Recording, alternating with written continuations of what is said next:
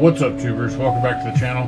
Got another what's in the box video for you. Today we're working with the Revell 125th scale Easy Click Ford Raptor. Uh, never disparage the Easy Clicks. Uh, I'll put a picture up here of one that I did that uh, I thought it came out pretty cool. Uh, the Easy Click is just Revell's way of saying snap tight, snap kit, snap fast, whatever, however you want to say it. Um, I've already been in this one and looked at it. It's uh, pretty limited parts count, but that doesn't mean anything.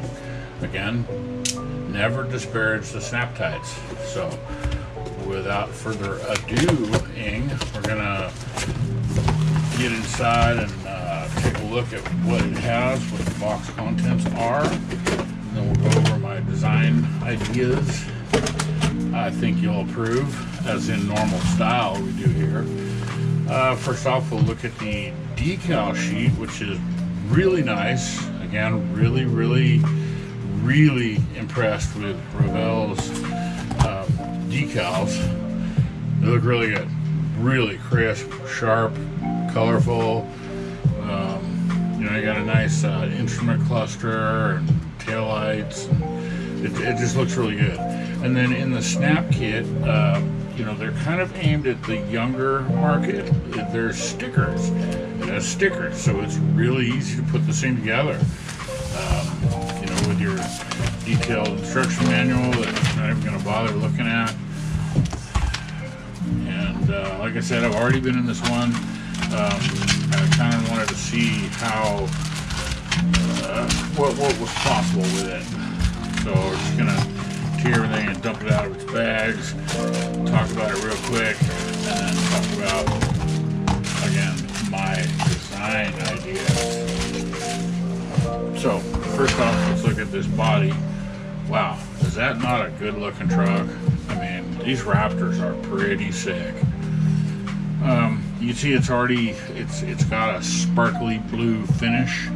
And, uh, you know, I mean, you could theoretically just put the scene together as is out of the box. We're not going to do that here, but you could. You know, a younger uh, younger person that's that maybe wants to get into modeling, this is a great entry point. But we're going to go further. So the interior tub looks really nice. It's got really crisp details, really prominent textures. Looks really good. I mean, it looks really good. So with some paint and some uh, attention to detail, it's going to come out nice. The underside has absolutely no details whatsoever, so it's a complete uh, static shelf uh, model. You know, you'll put it on the shelf and look at it, which it, most of the time that's all you do anyways. Uh, it's got some nice running boards on the bottom the, the door entries, so I mean it, it goes together pretty well. You can see there's limited parts. There you go, assembly's done.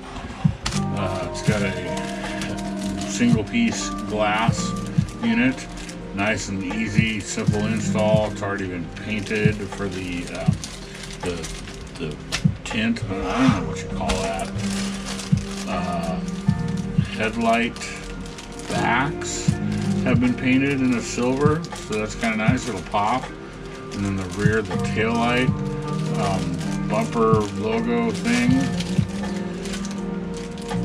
Uh, front grill insert. Dashboard. What, what, am I doing? Why am I not showing you these? I'm an idiot. Don't do what I do. I'm an idiot. I mean, there's really not much to see. It's, you know, it's a dashboard. But it does have some really, really nice details in there. So that will all come out really well with some attention to it. Uh, the tires and wheels that it comes with, a nice soft rubber, hollow, good tread pattern, good uh, aggressive tread style with a, I don't know what you call that, uh, it's kind of a, I, I don't know what you call it, it's a good looking wheel, but that's where it changes. What are we doing? yes, yes. These were left over from the Dragnum build that I just did. Uh, put a picture up that here. uh, this is just, I I mean, it was just screaming for me to do this. I saw how easy it was going to be to put them together like this. And where did I go? Where did I go? Other one? Hello. Come on. Oh, it's right here. Look out, snake. There's a snake in my boot.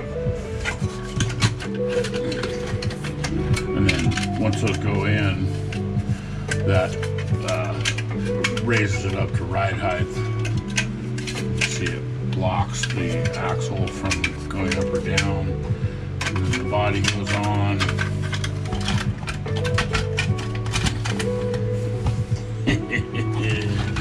Yeah. So that about does it for the Revell Easy Click Ford Raptor.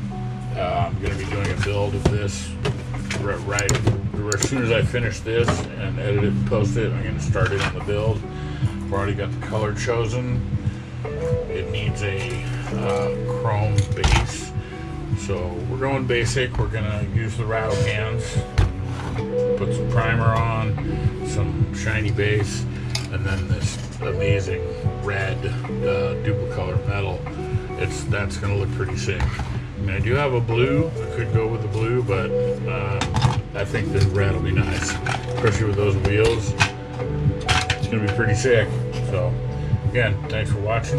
Uh, stay tuned. The build video should be coming up soon. I'm gonna do a, a time lapse of this one just because it's so basic and should go pretty quick. Um, we'll, you know, we'll see. So, again, thanks for watching. Stay tuned, and we'll see you in the next one.